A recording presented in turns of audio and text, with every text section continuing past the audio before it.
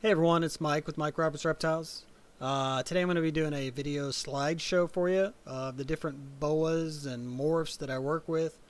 Uh, kind of show you, you know, what this gene does with this gene and kind of explain the genes. Uh, this video is more for like my friends and family, co-workers, you know, kind of explain things.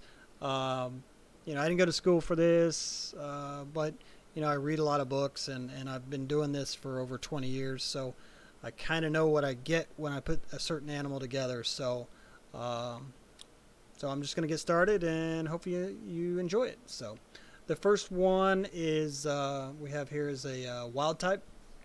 Uh, this is, uh, or normal. This is co a common uh, pet store uh, boa. So if you went into a pet store and you picked one up, this is most likely what you would get.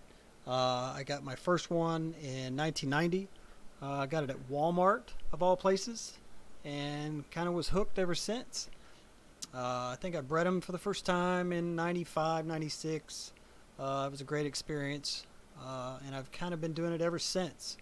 So I've put a few slides of each, you know, different kinds um, to kind of show you the variations uh, within the category. So. Um, just a normal, um, but you can see the, uh, you know, it's a little difference in appearance. The, the it's more gray, um, and as you go down, it gets a little redder. That's why they're called red tails. Uh, this is kind of cool. You can see how the uh, camouflage goes through the eye. I always love that about them. Um, and you'll see on the normals that you know they, they have a certain uh, saddles uh, with these little white marks on them. Uh, and they're all different. So here's another one. Um, and sometimes, like you can see, these two saddles are connected. Um, sometimes they'll be connected all the way down. And this one, they start to break up about halfway. And then sometimes they're just not connected at all. So uh, this one's got a nice red tail too. Here's just another example of a good looking normal. Um, with a nice little red tail. I like the little whites in between uh, the red, um, and then that little stripe, and that so that's pretty cool. And another normal. That's a pretty cool little spot right there. I like little things like that. How that little saddle there is broken Here's one that I produced this year. It is really light and orange. So the tail's really orange. The saddles have got more of a rusty look to them. Uh, so she just kind of stood out. So I'll hang on to her and see what I get out of her. Um, but uh, just a really good looking normal. And you can just see how orange she is and just great colors. So hopefully I'll raise her up, breed her, and that color will you know, come out um, in some of her offspring. So here's one that I produced a couple years ago, and she came from a really high red female. The female just had orange and red just all over. She was only uh, one of the normals that uh, had the, the, the, orange and the pink, uh, but uh, she came out with this super bright tail and just these orange scales everywhere, just all over. Uh, so she was definitely a looker. Here, here she is at about a year, um, and you can see how they start off gray, but then they turn uh, tan. Uh, so they all turn tan. Uh, but the orange just popped out in this girl. I mean, it just really came through. Um, and there's the medallion on the side there. And here's just a, a headshot of the same animal. And here's that line, camouflage line going through her eye again. It's really cool. okay, the first morph I'm going to talk about is uh, hypomelanistic or hypo. Uh, it is what they call an incomplete dominant trait. So if I take a hypo and I breed it to a normal, I'm going to get around 50% normals and 50% hypos. So it's a 50-50 type deal. So And what it does is it reduces the black pigment and enhances the red and it uh, changes up the uh, the pattern a little bit. Uh, you can see how on this particular photo that the medallions are, are kind of they don't have that white circle in the middle as much and they're more of a elongated line. Not all hypos are like that, but it, you'll see it a lot in the hypos. So this is the same uh, snake we just were looking at. It's just when it was a baby. Uh, you can see how they change over time in the color. That the older they get, the, the redder they get. Uh, so it's kind of a really cool gene to work with. Uh, you can see there's no black around the saddles here. Uh, and that's what you want. You want to reduce the black pigment and get as much red as you can. So here's one, uh, and it does, you know, it has black around here. And I'm going to show you later in a what we call super hypo how this has been eliminated as well. But uh, so you have pinks, you have little black around here, you have the the the bow ties are what we call them. Um, the saddles are more uh, bow tie-ish, and then the uh, medallions are instead of circles with dots, they are like more faded out. Here's another hypo. It's got a lot of red in the tail. Um, you can see it's still got some black around here, uh, but you know, eliminating most of the black, and then the red just really comes out. And here's a little cleaner one. Um, still got the fleck, the black freckles everywhere. Um, you can see it, and and that's you'll see it in the hypos. They'll have this black kind of line around here. But you can see the bow ties here. So there's a perfect example of a bow tie. Um, still, you still have that cool camouflage through the eye. Here's one where the uh, you know hypogene broke up the pattern in the tail a little bit. You can have a little weird thing going on here and a little stripe going on. It just does some really cool things. So. It's a good gene to work with. Okay, so this is what we call a super hypo. So when you breed a hypo to a hypo, 25% uh, should be what we call super hypos.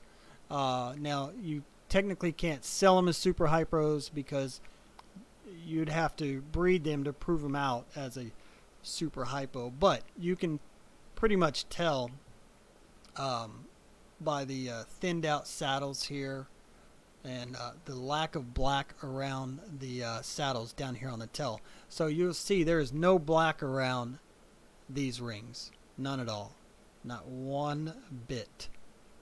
There's first black speck right there. So that is a uh, most likely a super hypo. So that animal there, if you breed it to a normal, since it's a super hypo, it will produce 100% hypos and no normals.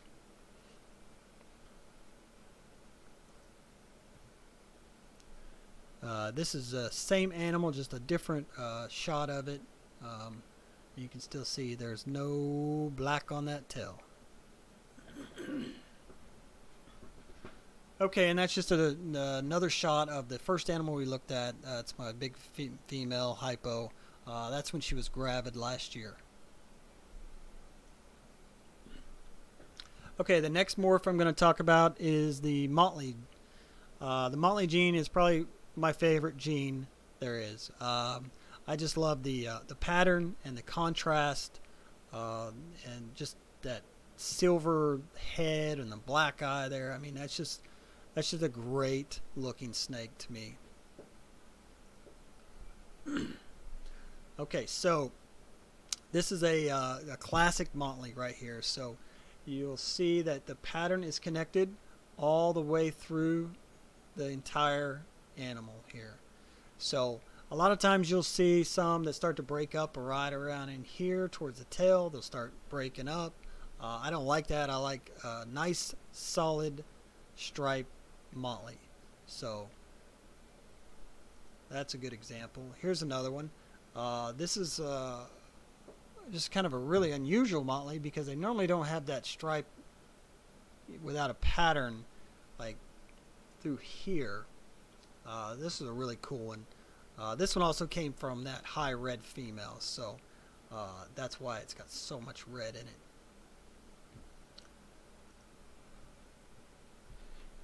Here's a couple of my first motleys that I produced. I actually kept both these animals, um, and they're in my breeders. They're part of my breeding program. Um, just love love the motley gene.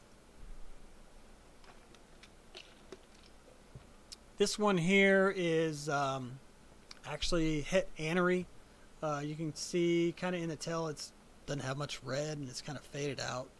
Um, sometimes the anery gene will, will do that. So, And we'll talk about the anery gene here in a little bit.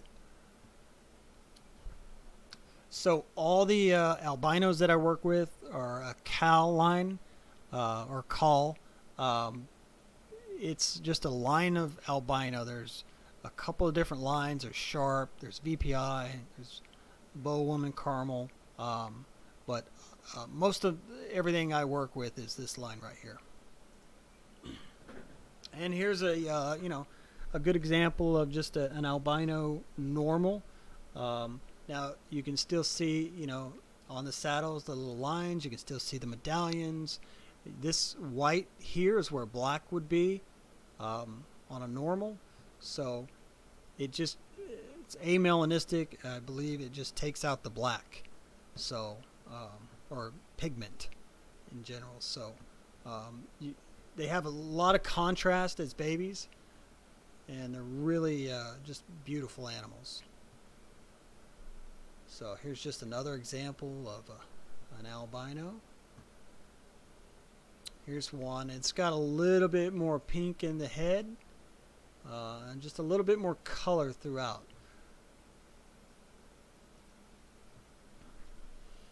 Here's one that has a nice, uh, you know, stripe on the tail. Uh, really love uh, striped tails. To me, it just kind of makes the animal uh, pop. So. And one more. Let's see. Okay, so when they grow up, they normally don't look as good. Um, they kind of uh, yellow out. Um, still great looking animals. You know, they don't have that same contrast. Uh, just, but um, they do kind of fade. So I forgot to talk about the uh, the albino gene it is uh, recessive. So, in order to get an albino, both the parents would have to carry the gene.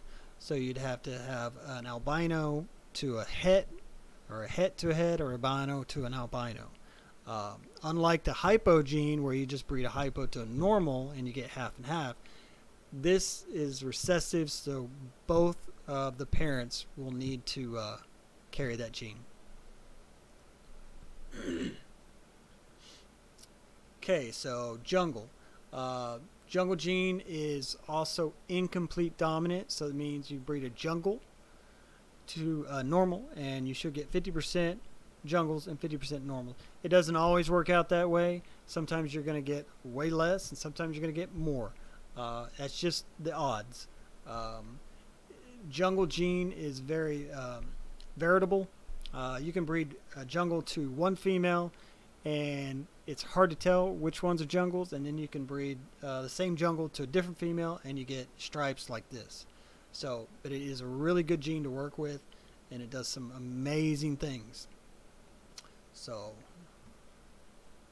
it's a picture of the same male. Uh, there, you can just see uh, the stripe. Um, you can see the little circle on the head. Um, and these little white scales kind of indicate jungle. Um, here's another one from the same litter. Uh, you can see how it just did a little different thing to it. Uh, you got connecting saddles here. Uh, you've got uh, normally where you would have these bat, uh, Batman saddle type things. You have blocks so the saddles are now blocky. You see that? Blocky. and then the tail. So here's a, another jungle. Here's the circle on the head. Um, here's the connected saddles, zigzag type here, and then your stripes and this white around there. Okay, so anery. This is the only picture of an anery I have. I just picked up an anery this year. Um, I've had anery uh, floating around in my collection, uh, but I've never produced any anery stuff until this year. So it's a really cool gene um, if you mix it with different things. Um, it basically just removes the red pigment out of the animal. So uh, you might think, why would you take red out of a red-tailed boa? but once you start mixing it in with other things, you get some cool stuff. Uh, so I picked this girl up uh, to go with a male I produced that I'll show you here in a little bit.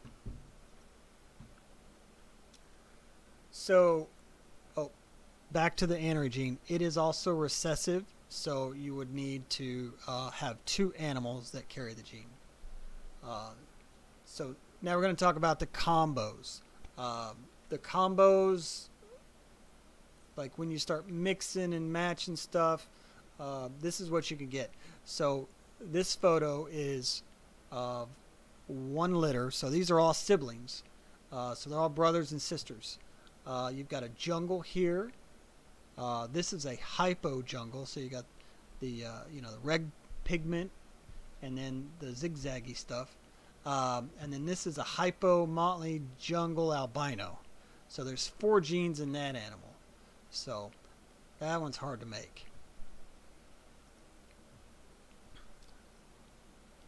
This one here is what you get when you combine the hypo gene with the albino gene. So this is a hypo albino, or what we call a sun glow.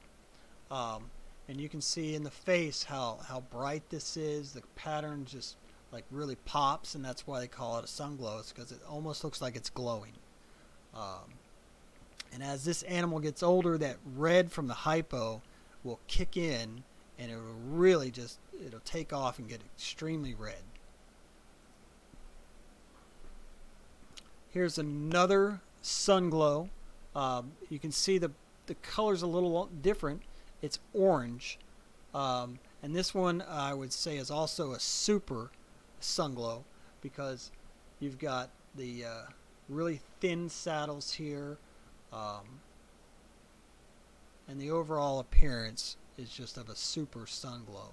So once again, you wouldn't know until you bred it. So if you this was a male and you bred it to a female, and then all the all the babies were hypos, then that would be a super hypo, super sun glow. Same animal, just a different picture, just to show uh, you know the different colors. So we have the Motley gene here up top, and then we have we add the the, yeah, the hypo gene into the Motley gene, and it does some really cool stuff too. Um, this one here is a hypo Motley. Uh, it's its brother, um, and you can see how it just lightened it up typically it changes the whole pattern of the snake, but in this particular litter, it retained the circles on the back and just enhanced the red. So it was really cool uh, to see that. I've never had that happen before. And here's another uh, another example of the same. I got three out of this litter, and they all were the kind of the same. So you can see you still have the classic motley pattern through here, but then the just red is so intense. This is what you normally see when you get a hypo motley. You got a striped tail, you've got blocks all the way here, nothing's connected. Uh, this is just like a crazy colored animal too. It's really orange.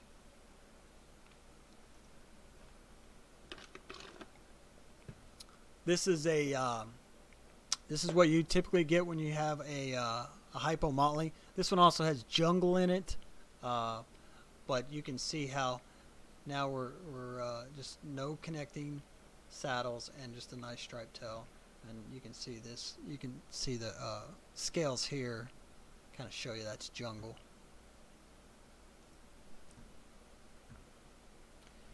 Here is a hypo motley that's just a little bit older. Uh, the color's starting to come in, um, and you can just see how uh, that hypo gene has kicked in, and it's just really enhanced red. This is a uh, albino motley, uh, so you've got a, a, recessive and then an incomplete uh, dominant trait there.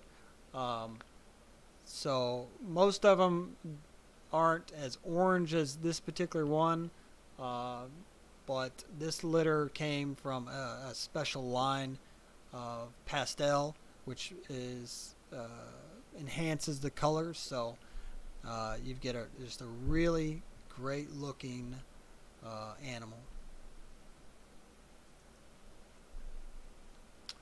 This is a uh, jungle motley. So you can see now the jungle gene has, instead of having circles, it's more of a uh, blocky pattern through here and it's broken it up.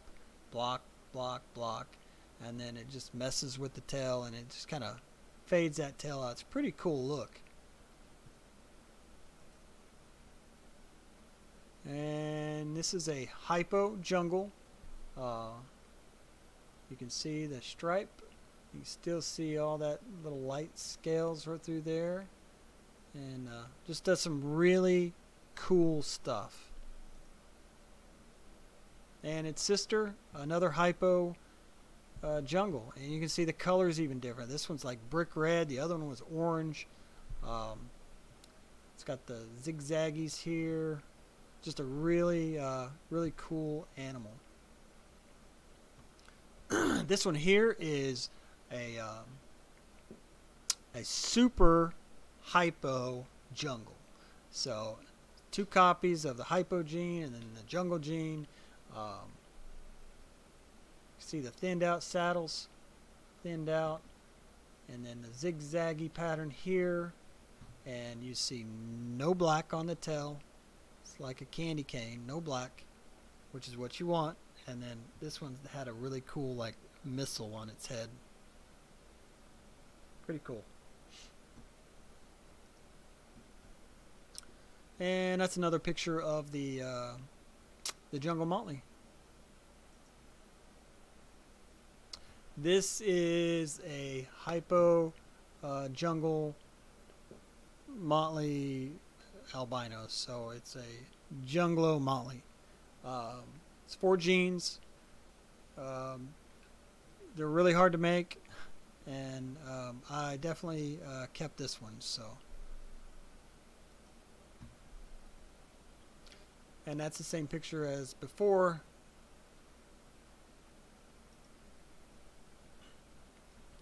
This one here is a uh, anerythristic motley that I produced this year. So it's you know a lot darker. Uh, the eyes are darker. Just the overall pattern there's no red in it. Um, so that that's going to be a pretty cool animal. And this one here is a snow motley, so it's an albino anery motley.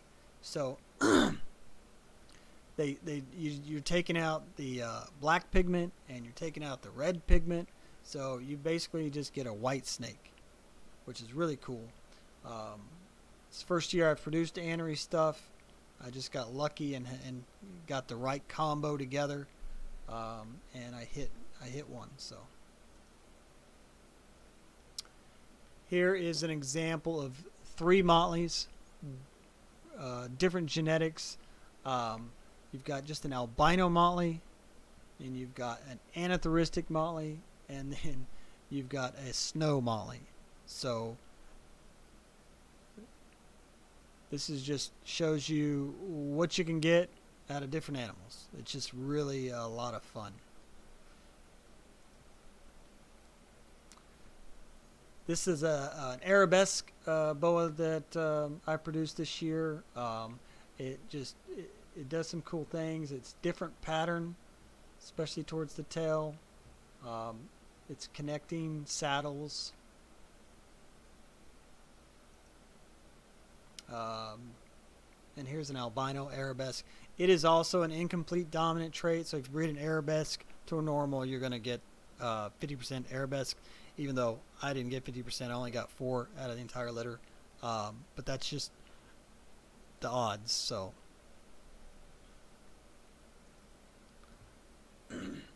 Here's a picture of the arabesque with just a normal albino, and you can see the, uh, you know, the, just a different color uh, that the arabesque has, the, the more you know, pink and, and orange, uh, just because of that different gene.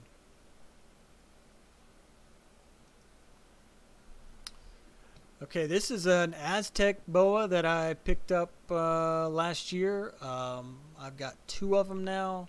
Uh, I really like the pattern. Uh, I think it's going to do some amazing things uh, with the hypogene and albino gene. Um, it's uh, it's an also an incomplete dominant trait. Um, so you breed this to a normal, you're going to get 50-50. And uh, you can just see that different pattern. So there's circles all the way down. It's really, really cool. This is a uh, IMG boa that I picked up uh, last year. It stands for increasing melon gene, I believe, uh, which just means as this animal gets older, uh, the melon, the black, is going to come out, and um, it's just going to turn black. So this is when I first bought it. You can see just a little little black here and a little black here, and uh, and as it gets older it just gets a little darker and now you can just see it just it's getting darker so uh, will this animal get solid black? I don't think so. It's got the hypogene in it which actually fights against that uh, but it will uh, it will get pretty dark so pretty excited about that. And last but not least is a uh, VPI albino. It's a different kind of albino. Uh, it just kind of lightens the animal up. Uh, really, really cool looking. Um, I can't wait to uh, get some litters out of my VPI stuff uh, so I can start mixing and matching all the same uh, combos that I showed you earlier but with the VPI it gives it just a little bit different look. So it's pretty exciting. Um, so I can't wait to work with that. So that's pretty much uh, everything I've got right now and I'm working with. Um, always picking up new projects and maybe I'll update this video at some time but I hope you enjoyed it. If you have any comments just leave them in the uh, comment section and I'll answer them and thanks for watching.